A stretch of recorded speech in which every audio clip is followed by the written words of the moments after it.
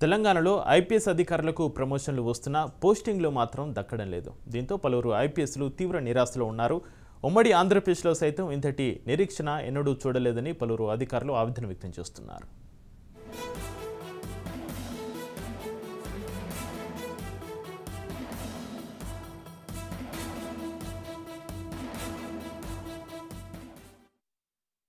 Promotions వచ్చాయి. Postings ఇవ్వలేదు.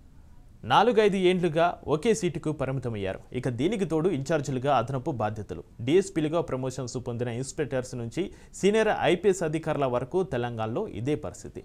Police డిపార్ట్మెంట్లో సీనియర్ల రిటైర్మెంట్ల తర్వాత ఆయా పోస్టులో ఇన్ఛార్జీలతో నెట్టుకొస్తున్నారు. దీంతో పాటు ప్రమోషన్స్ వచ్చినా సరే పోస్టింగ్ లేకుండా ఉన్న చోటే అప్గ్రేడేషన్తో నెలల తరబడిగా విధులు నిర్వహిస్తున్నారు. ఇందులో సీనియర్ ఎస్పీలు డిఐజీలుగా డిఐజీలు ఐజీలుగా ఐజీలు అడిషనల్ డీజీలుగా ఇక ప్రమోషన్లు పొందిన అధికారులు పాత పోస్టులోని అప్గ్రేడ్ హోదాలో విధులు నిర్వహిస్తున్నారు.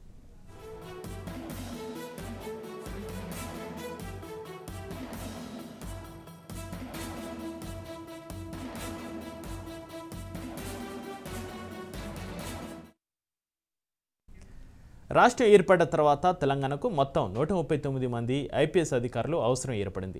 ఈ క్రమంలో కేంద్రం నూట పన్నెండు మంది ఐపీఎస్లను రాష్ట్రానికి కేటాయించింది. ఐపీఎస్ల రిటైర్మెంట్లు ఖాళీలు సెంట్రల్ సర్వీస్కి కొందరు ఇంకొందరు ఇతర రాష్ట్రాలకు డిప్యుటేషన్పై వెళ్ళడంతో తెలంగాణలో ప్రస్తుత ఐపీఎస్ల సంఖ్య సుమారుగా ఎనభైకి చేరుకుంది. ఇలాంటి పరిస్థితుల్లో కొత్తగా ఏర్పడ్డ ముప్పై రెండు జిల్లాలకు సుమారుగా మరో అరవై మంది ఐపీఎస్లో అవసరమని తేలింది. ఈ క్రమంలో రెండు వేల పద్దెనిమిది మార్చిలో రాష్ట్ర వ్యాప్తంగా ముప్పై ఎనిమిది మంది ఐపీఎస్ అధికారులను బదిలీ చేశారు. ఆ తర్వాత మూడేళ్ళు గడుస్తున్న ప్రమోషన్స్ మినహా పోస్టింగ్స్ ట్రాన్స్ఫర్స్ జరగలేదు.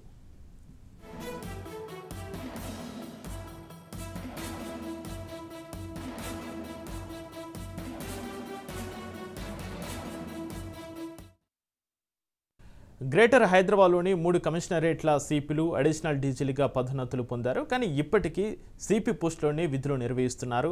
Cyberabad CP Sajjanar Hyderabad traffic CP Anil Kumar additional డీజీలుగా ఇటీవలే ప్రమోషన్స్ పొందారు. టాస్క్ ఫోర్స్ డీసీపీగా రాధాకిషన్ రావు ఓఎస్డీగా పనిచేస్తున్నారు. దీంతో పాటు ఇన్స్పెక్టర్లు డిఎస్పీలుగా ఏసీపీలకు అడిషనల్ డీజీపీలుగా ప్రమోషన్స్ దక్కాయి. వీరంతా పోస్టింగ్స్ కోసం ఎదురు చూస్తున్నారు.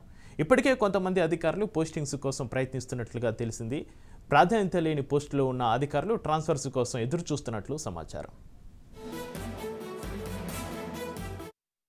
తెలంగాణ రాష్ట్రంలో మూడున్నర సంవత్సరాలు గడుస్తున్నా ఇప్పటి వరకు ఇంకా బదిలీల ప్రక్రియ స్టార్ట్ కాలేదు. ఎందుకంటే గతంలో రెండు వేల పంతొమ్మిది ఎన్నికల ముందు ఐపీఎస్ల బదిలీలు జరిగినప్పటికీ ఆ తర్వాత జరిగినటువంటి కొన్ని సాదాసీదా బదిలీలు జరిగాయి తప్ప అధిక సంఖ్యలో ఐపీఎస్ బదిలీ జరగలేదు. ఇప్పటికే చాలామంది సీనియర్ ఐపీఎస్ అధికారులకి ప్రమోషన్లు వస్తున్నాయి కానీ పాత పోస్టింగుల్లోనే వాళ్ళు విధులు నిర్వహిస్తున్నటువంటి సిచ్యువేషన్ తెలంగాణ వ్యాప్తంగా ఉంది. ముఖ్యంగా హైదరాబాద్ పోలీస్ కమిషనరేట్ పరిధిలో చూసుకుంటే దాదాపు నాలుగు జోన్లు ఇక్కడ ఉంటే సుమారు ముగ్గురు జోన్ల డీసీపీలకు ఇప్పటికే జాయింట్ సిపిలుగా వాళ్ళకి ప్రమోషన్లు వచ్చినప్పటికీ ఇంకా డీసీపీల హోదాలోనే వాళ్ళు కొనసాగుతున్నారు. అదేవిధంగా హైదరాబాద్ సైబరాబాద్ రాచకొండ ముగ్గురు కమిషనరేట్లకు కూడా అడిషనల్ డీజీగా ప్రమోషన్లు వచ్చినప్పటికీ ఇంకా ముగ్గురు కూడా సిపిలుగానే విధులు నిర్వర్తిస్తున్నటువంటి సిచ్యువేషన్ ఉంది.